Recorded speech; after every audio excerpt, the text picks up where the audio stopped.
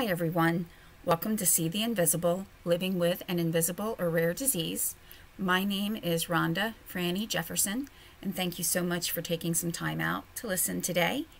If you're new to this page, I want to welcome you and thank you for giving me the opportunity to share some of my experiences, um, talk about ways that we can cope in our everyday challenges, and you know, I just really appreciate the the opportunity to share some of that with you. I know going through this last year, and we're really getting ready to approach that full year now. It's been tough on everybody, and having a type of illness or a disability that just adds another level to the everyday challenges that we already have to face. I also want to celebrate our successes because all of us are survivors and we're victorious once we get through every day. Um, I know that we have to adapt to just the changing health scene that we have right now, that day to day things are changing. I do also want to show support for those who are our support system, our loved ones, family, friends, and even the medical personnel that helps. Um, they're also you know, going through a time period right now where, on top of the cases that they would see in their hospitals. They're getting, you know, inundated or flooded with patients. And this past year, they have been our true heroes. The first responders, they go out there selflessly and put their lives on the line each time that they come in contact with someone who may possibly, you know, have COVID. Um, I did actually know a healthcare professional who passed away not too long ago, and she truly was a wonderful woman, and she's a hero. All of the medical personnel helping us are heroes. So, you know, I really want to focus on things that are positive. I know during all of this, um, just to give you a little bit of background, um, I had some experiences on social media where people were less than nice about what they thought about people with underlying conditions. And it really kind of lit a spark in me um, to say, you know what, if someone's saying that to me, I know that people are saying it to other people. So I wanted to find a way just to let people know that they're not alone. I also did just want to mention that, you know, I know on top of everything we're going through with COVID, um, there has been severe weather in the south um, over the past couple weeks. Um, you know, something that they really haven't seen before, and then the electric grid. So I am thinking of you guys every day um, that you know went through that, is still going through the aftermath of the weather. So just everyone's in my thoughts and my prayers, and I hope everybody is doing well. So before I do start, I always like to say that I am not a medical, insurance, or legal expert. I do hope to share my experiences and provide information that I find from public sites on the internet. Um, in many cases, I will use my own personal experiences to provide feedback on that information. And today, um, I'm kind of leaning towards this being a two part episode. You know, I haven't gone through all of the um, you know, points that I want to go through verbally yet, so I'm not quite sure of exactly how long it will take, but if it starts to take over a half an hour, which I'm pretty sure it will, then um, I'll spread this out to a two, possibly three parter. So, what I'm actually looking at is how we approached, and when I say we, I mean us as a nation in the United States, and then also, you know, the world, because we all learn from each other, I think, about, you know, best ways to handle it, not to handle it, and you know, we did actually work together with a lot of countries and it did in a lot of ways unify us. So I want to take a look back at the 1918 Spanish flu pandemic, which I will actually go through the name and the misnomer that it has, um, not actually being the Spanish flu. Um, but I want to look at how things changed, um, not only with the direct approach on how the pandemic was um, you know, was looked at, but also just other factors in the background, even things that people might not think of, that actually led to either more spread of um, the Spanish flu compared to coronavirus or COVID, um, you know, condition, living conditions that they might have had, things like that, um, that really underscore, you know, the differences and the similarities between 1918 and today. So um, I know also I found today, such as in two, I'm sorry, 1918, there were you know socioeconomic issues and the socioeconomic status that did play into how people were treated. Um, this pandemic, they were a little more than a century apart. And in some ways, we can look back at a century. And if you look at pictures from 1918, things were so, so different. Um, now, I don't want to quote, or don't quote me on these numbers, but I did take um, kind of a um, seminar a few years ago, and someone had looked at all the technological advances that we had made, and I think it was something like all of this, all of the technical advances that were made in 2004 were at that point being made every 30 minutes. So if you looked at the amount or the number of advances that were made in the early 2000s and compared it to you know, a day. Even now, there were more, many more technological advances taking place each day now. So we're really changing at you know, a really quick pace. So when you look at the pictures from 1918, and I'm going to be going over some parts of World War One as well, the the planes they had then. Compare it to the fact that we've been on the moon, that there's a space shuttle, there is a space station, and people are even looking at commercial flight to space. So, um, yeah, this is probably the introduction episode is going to be a little bit of a history um, of things, but just imagine 1918 a lot of people didn't have their own phones. Um, you know not every street was um, was paved. And you know pictures were black and white. There was no sound in video. Just dozens and dozens and dozens of changes per day advancements per day that are happening now. And if somebody could speak with someone then and think about you know how many or how did they imagine 2021 might be they probably couldn't imagine what it would be like now um, i did come across some information that there was um, a man who lost his twin brother to the Spanish flu. Now, he doesn't remember his twin brother because they were infants. Um, that gentleman passed away from COVID. He was 102 years old. So the Spanish flu lasted until um, part of 2020. So his twin brother caught it and passed away, and he then passed away at 102 um, due to COVID. There was also a woman who lost a sister before she was born um, from Spanish flu, and then she you know, she did pass away as well um, from coronavirus. But then there was one gentleman who survived both Spanish flu um, and COVID 19. So when you look at it that way, the fact that at least three people that I came across, um, sorry, came across just with a couple searches, that shows, while looking at pictures and thinking about how things were, seems so long ago, but they're actually really, really close because we have people who've lived through all of these advances and saw things that they probably couldn't even imagine.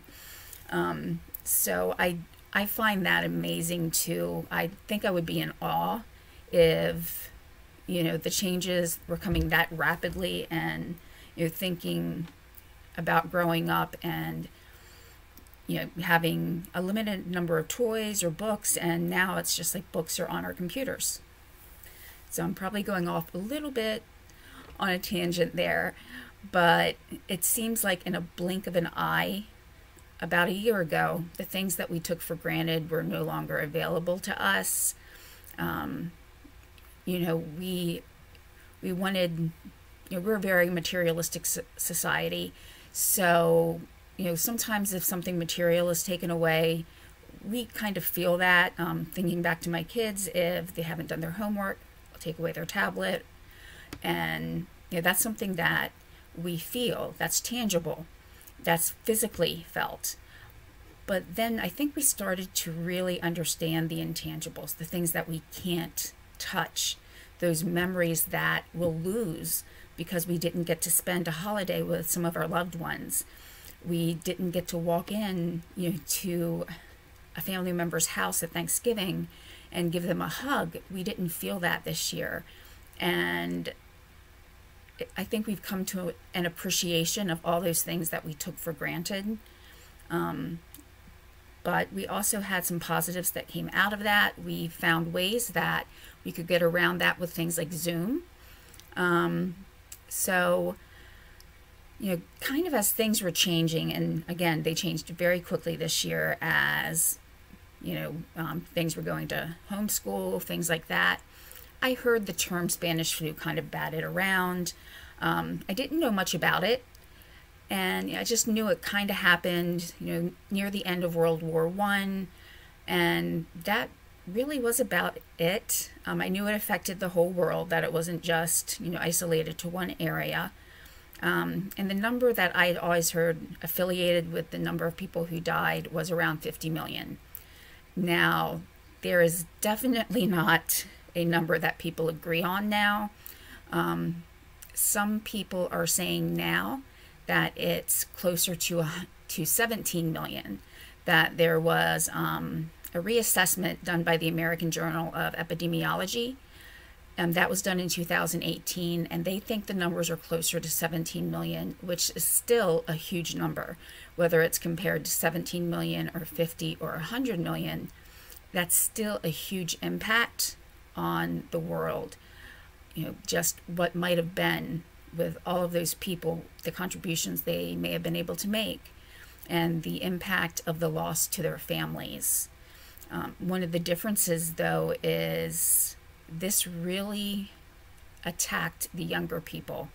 Um, you know, the elderly were actually more safe, um, had a better chance of survival than those that were young. And men actually had the highest rate of contracting Spanish flu. And it's thought to be that's because they were the ones who went out to work and came in more contact with people. So that makes sense in that time period. That's what was happening. However, in other countries where women may have been the ones who might go from house to house to family members and try to help them, the women were the ones who actually had a higher percentage. Um, I will say, finding some information about, you know, um, socioeconomic issues, um, anything to do with gender, it was very, very hard um, to find anything about that regarding the Spanish flu. And even how disabilities and chronic illnesses may have been treated then, it was a world apart. Um, but that does make me want to say, too, um, and what I found was a lot of articles were putting disability and chronic illness all into one category. And while there, you know, are many, many cases where a chronic illness can lead to a disability, it's not always, you know, together. You may have somebody who has a certain disability or impairment, but otherwise they're 100% healthy um, such as someone who is hearing impaired, which early on, um, you know, as a society, we found that we needed something to help communicate for those who were hearing impaired. So the masks were made where the um, the mouth, I'm sorry, the mouths were visible. So, you know, we recognize those needs, but to find anything like that about the Spanish flu, um, I really struggled to find anything. So, what I'm really going to need to do is just kind of, or I've read some of the articles and came up with what sounds like was going on. In other words, whether or not someone had access to, you know, facilities or a way um, that they could find someone to help them. So, you know, again, though, I did find a lot of articles that, you know, were we're kind of looking at it as a one size fits all category. um, of being disabled and having a chronic illness. And again, those are two separate things, and many times they do overlap. But looking at it as a whole, saying that, okay, this is what we need to do, it doesn't, as a society, I'm glad that there's recognition that there may need to be things that are adapted to help those with disabilities or chronic illness, but at the same time, to not recognize the individuality of each person and each illness or each disability or impairment, that is really doing a disservice as well. Because what would work with me as someone with a mobility issue would not work the same as someone with a hearing impairment and needs to speak with someone, but the bank branch or um, the doctor's office or wherever they happen to be going isn't open and they need ways to communicate. So, again, that's a vast difference as far as what um, what treatments should be, what accessibility should be, um, because we have totally different needs. So again, I'm very appreciative that there's a recognition that those who have a disability, um, have an impairment, or um, you know have a chronic illness may need certain um, I'm sorry, I can't think of the word right now. Accommodations, that's it. Um, they may need certain accommodations. It's not going to be the same for every person. And I think sometimes that's what people struggle with. Um, so that was something I came across too that I wanted to get out of the way earlier um, rather than later because it may impact some of the, you know, other um, aspects of the history. So, going back to the Spanish flu, um, it was called the Spanish flu, but it actually, you know, there's no way to really know whether it actually originated in Spain. The actual first known case was in the United States, but this was 1918. World War One was still going on, and literally thousands of men were being sent overseas, cramped in you know ships, you know, to go overseas and very cramped conditions. And if one or two people had it, it would spread. And then as soon as those men hit the shores, it would spread again to others. So, you know, instead of going into containment, those who were in control didn't they didn't do anything to stop it.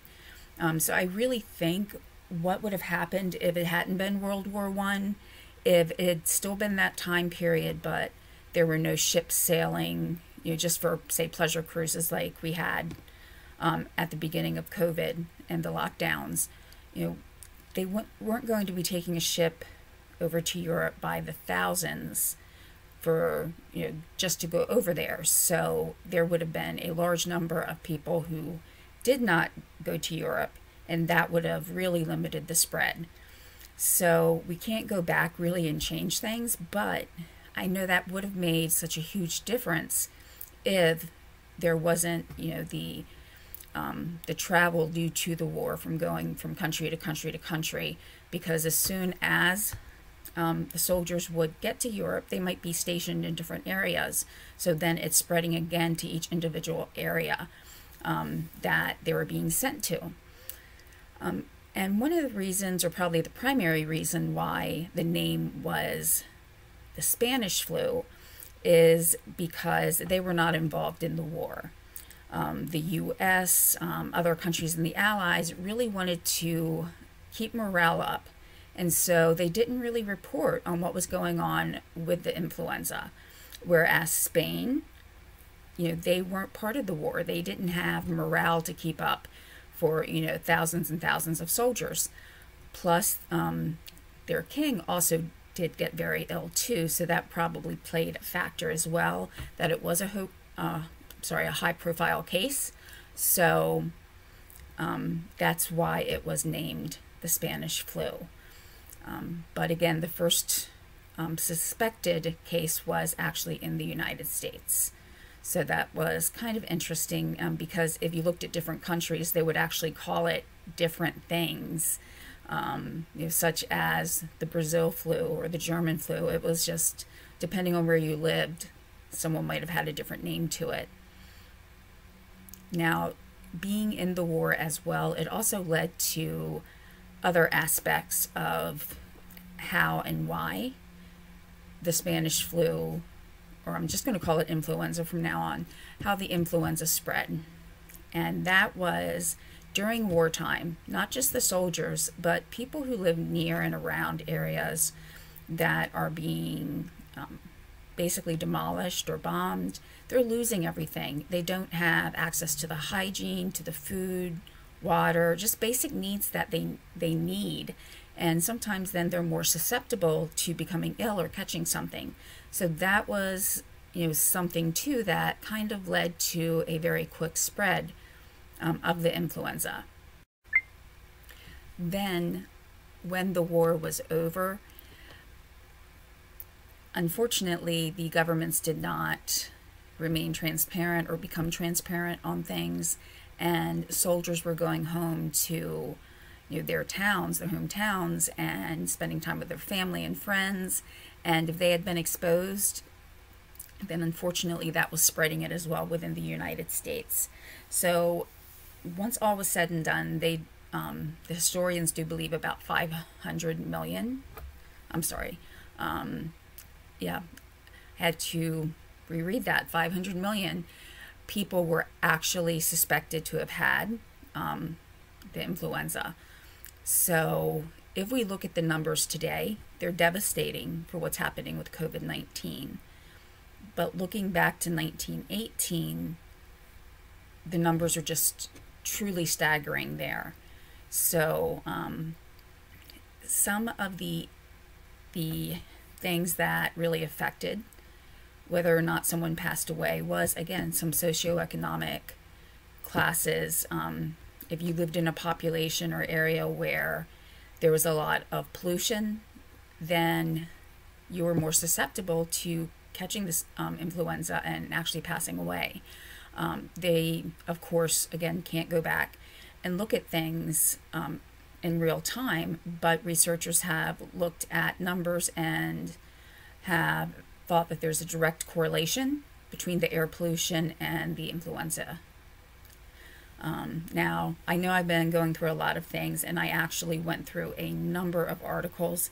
I will link information to um, the articles in the description of the podcast because, again, there were quite a few. Um, so, you know, the, the public health um, officers and you know the towns and across the nation, they wanted to focus on containment, but you know it, it was impossible to catch because people were already coming over. I'm sorry, already coming home from Europe, where it had been spreading, and again they're going home to their own um, hometown. So, what the governments did to try to keep morale up ended up hurting you know both the United States and the world just because of the disease being transmitted in the way it was in that there was a lot of travel due to the war. Um, and again they were trying to keep morale up. World War One, it is estimated about 9 million people died. So if we look at the low end of the estimate, approximately 17 million people dying from the Spanish flu, that was, you know, at 17 million, that's a, just a little bit less than double the amount that died in the war. So, in a way, you know, to try to keep the morale up of the men who were serving overseas, it ended up kind of coming back and biting us in that so many more people died as a result of the influenza. Um, now, there were a lot of things that were done in 1918 that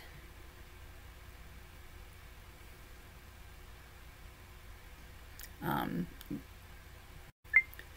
there were a lot of things done in 1918 that were very similar to what happened at the um, beginning of the pandemic in 2020.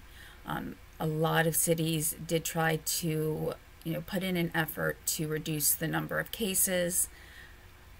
Unfortunately, just like today, there weren't any consistent you know, policies. It varied by state to state, by city to city.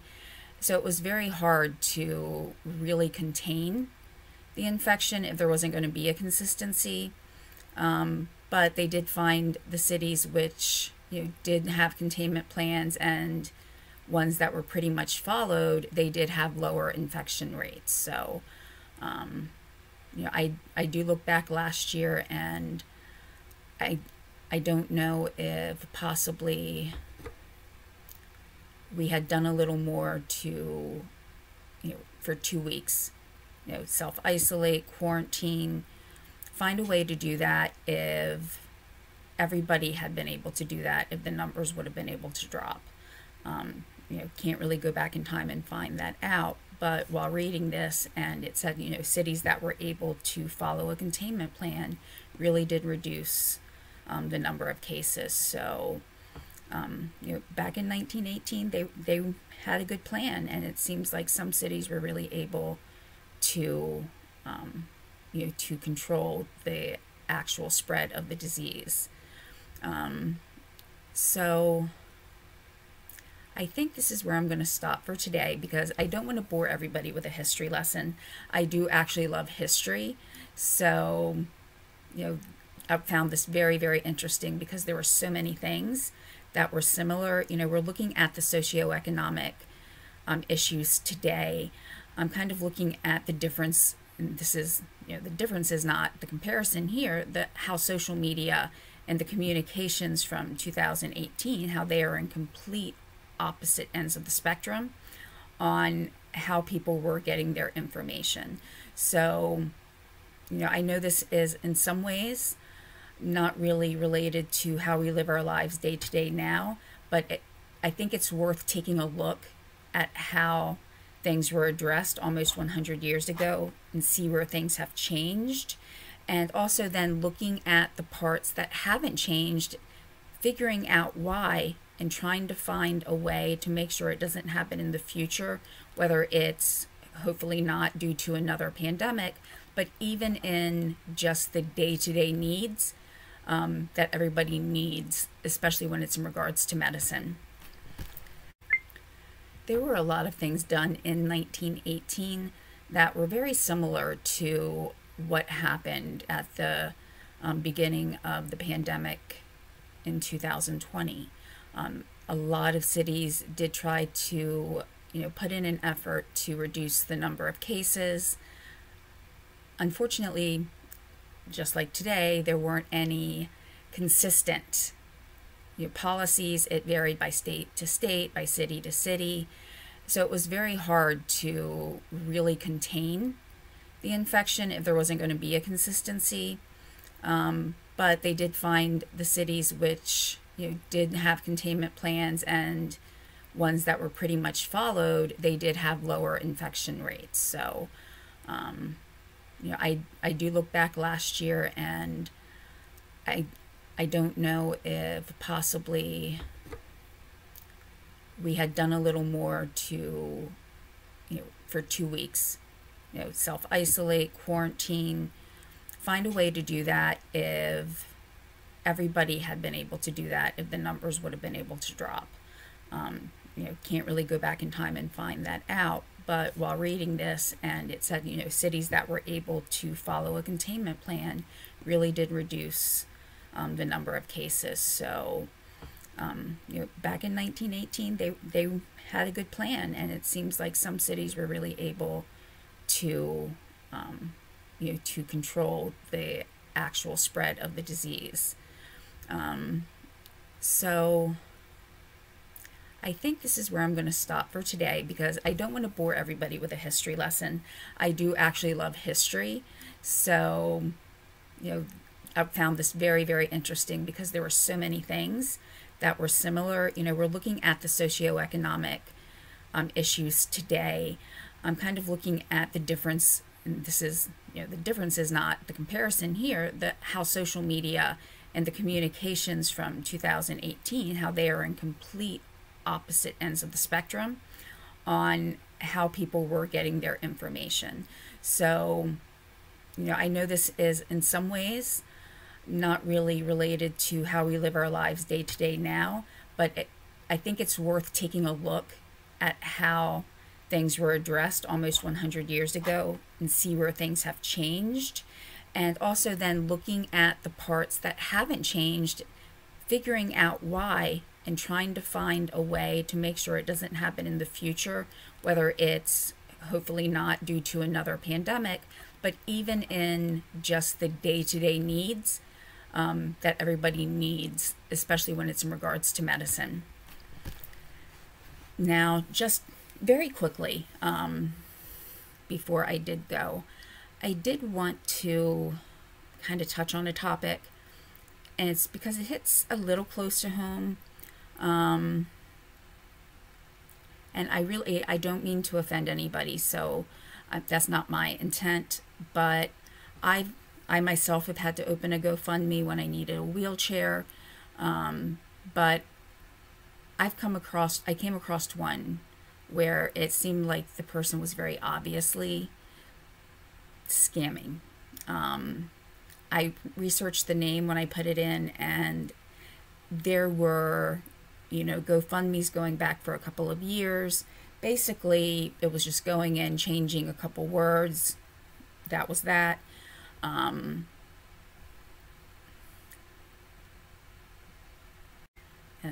So I look forward to next week going a little bit more into some of the different aspects. Um, you know, looking at those issues as far as um, you know socioeconomic, um, the ease of communication that we have, not only the ease but the willingness of communication, because we did see that here too. That you know, it things weren't very upfront in some ways, and then also looking at the way technology has advanced everything basically. So it's kind of tying everything together. So I'm going to try to see if I can fit all of that into one episode, but we really might be looking at a three parter. Um, so I really, again, I appreciate you taking some time out to listen. Um, if you do enjoy the podcast, please, please um, feel free to share it with your friends. You know, I, like I said, I just kind of want to spread some encouragement and positivity. So um, you're sharing it or listening to it.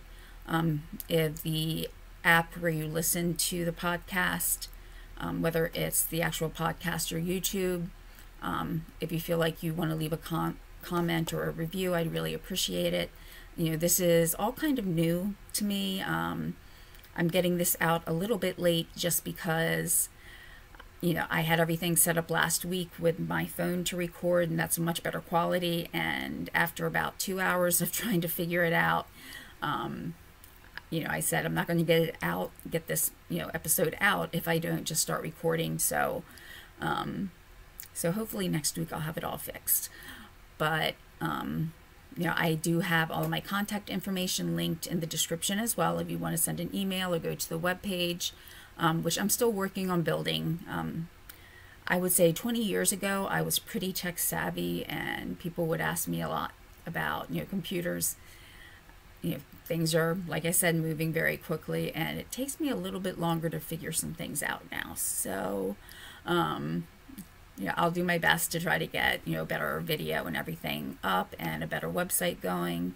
Um, but I really, you know, again, I appreciate you spending some time with me today, and I look forward to talking to you next week. Thank you.